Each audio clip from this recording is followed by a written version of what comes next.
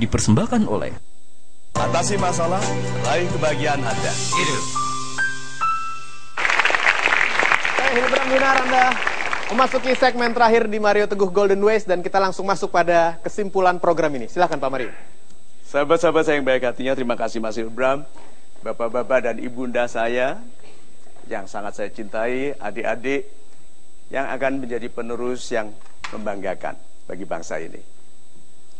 Di nasihat Mario kecil tentang Drakuli. Drakuli itu anaknya Dracula. Dracula kecil. Itu ini sudah ramah Pak, sudah minumnya susu. Nah.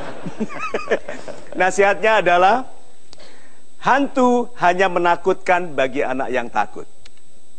Masalah hanya menakutkan bagi orang yang takut. Tapi anak yang pemberani adalah hantu bagi hantu.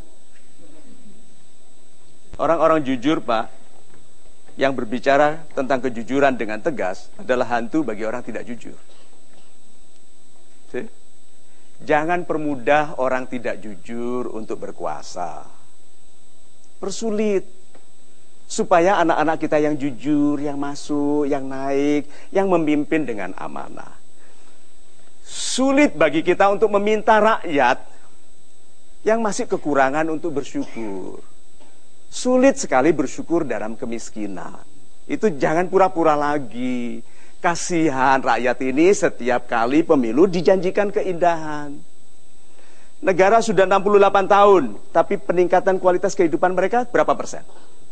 Lihat, bahkan pegawai, pegawai, karyawan yang gajinya naik 15 persen per, bul, per, bul, per tahun, memiskin karena inflasi lebih besar dari 15 persen.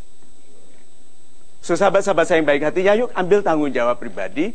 Sementara gunakanlah kekesalan, kegundahan, kegalauan, atau kemarahan sebagai tenaga untuk lebih tahan melek malam belajar.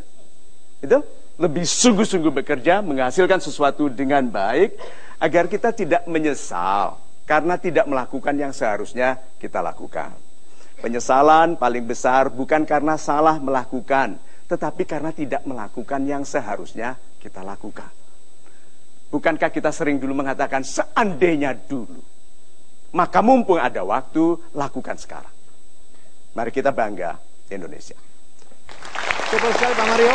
Terima kasih untuk kesimpulannya dan mudah-mudahan dengan kebanggaan kita pada Indonesia merupakan langkah awal agar kita menjadikan negara ini, negara Republik Indonesia, negara yang lebih hebat, lebih baik dan juga lebih menyejahterakan. Amin. Saya Hilbram Dunar, mudah-mudahan kita bisa bertemu lagi pada program ini di kesempatan berikutnya, tentunya di Mario Teguh Golden